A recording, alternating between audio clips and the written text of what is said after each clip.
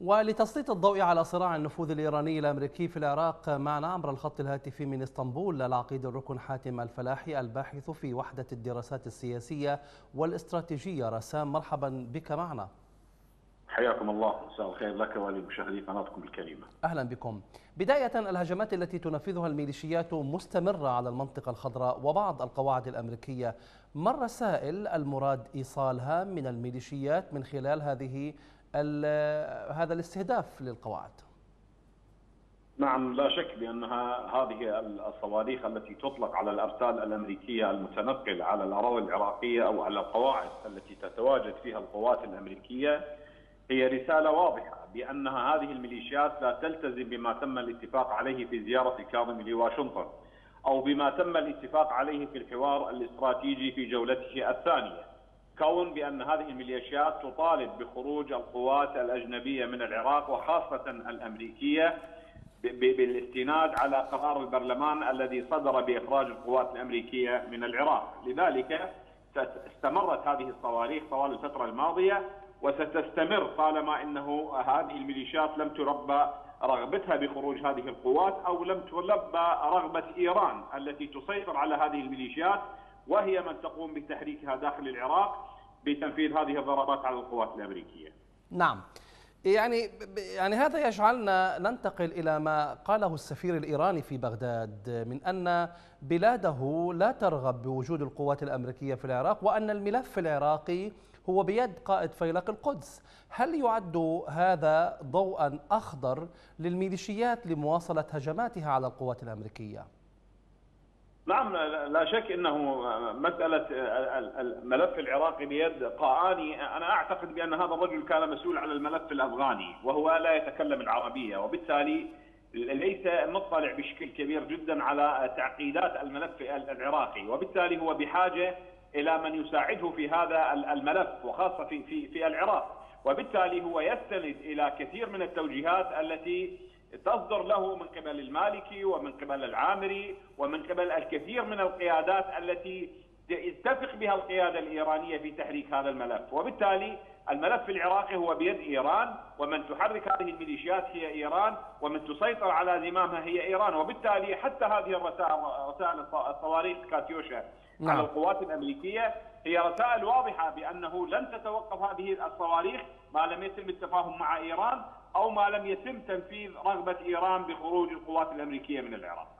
تمام.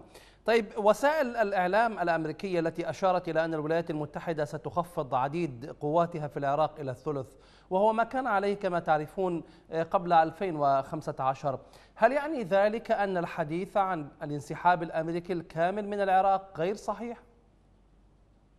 لا من بالبداية يعني يعني قبل أن يقوم الكاظمي بزيارة واشنطن وقبل أن تكون الجولة الثانية للحوار الاستراتيجي كانت هناك تصريحات لماكنزي.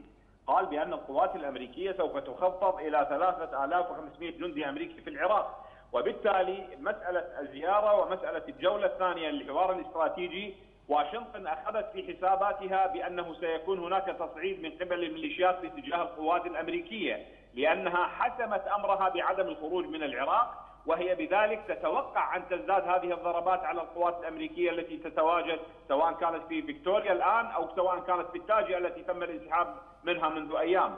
وبالتالي مسألة بقاء القوات الأمريكية هو أمر محسوم بالنسبة لواشنطن، لن يكن هناك انسحاب قريب من العراق وستبقى لفترة ثلاث سنوات وتعرف هي جيدا بأن هذا يتناقض مع قرار البرلمان ومع رغبة رغبة الميليشيات ومع رغبة إيران بخروج القوات الأمريكية من العراق خروج سريع سريع غير مجدول مثل ما جرى الاتفاق نعم. عليه. وعلى ذلك ماذا تتوقع أن تكون ردة فعل هذه الكتل التي السياسية التي أكدت أن اتفاقيات الكاظمي في واشنطن غير ملزمة للبلاد يعني وقالتها بوضوح وقالت أن النظام برلماني وليس رئاسي وما أقره البرلمان يجب أن يلتزم به رئيس الحكومة. نعم لا شك نحن نتكلم عن سلاح مغطى بأجنحة سياسية، نحن نتكلم عن ميليشيات مسلحة آه، لها نواب في البرلمان وهي تسيطر على كثير من مفاصل الدولة وتستطيع أن تقوم بخلق فوضى كبيرة جدا وهي من تقوم باغتيال الناشطين وهي التي ترى بأن الحراك الشعبي الموجود هو تشكيل يشكل تهديد حقيقي لنفوذها في العراق ولنفوذ إيران، وبالتالي ما يقوم به الكاظمي لحد هذه اللحظة حقيقة هو يتبادل الرسائل مع هذه الميليشيات من خلال اجراء لبعض التغييرات. الأمنية أو من خلال مسألة المعابر الحدودية بتقييد نفوذ هذه الميليشيات. ولكن لحد هذه اللحظة لا يوجد قرار سياسي لدى حكومة الكاظمي بمواجهة هذه الميليشيات مواجهة حقيقية، كون الكاظمي اولا لا يمتلك رؤية سياسية حقيقية نعم. وليست لديه مشروع لمواجهة هذه الميليشيات، لذلك هو يبدو ضعيف جدا وتبدو هذه الميليشيات واجنحتها السياسية سواء الكتلة البرلمانية التي تدعم هذه الميليشيات هي قادرة على أن تحرك الكثير من الأوراق ضد الكاظمي سواء كانت في البرلمان أو سواء كانت في الشارع العراقي. نعم. مسؤولون أمريكيون أكدوا أن الكاظمي طلب آه، باستمرار دعم واشنطن لحكومته. وفي ذات الوقت هناك كتل سياسية تطالب بإنهاء التعاون مع الولايات المتحدة. إلى أي مدى ينعكس الصراع الأمريكي الإيراني على القرار السياسي في العراق؟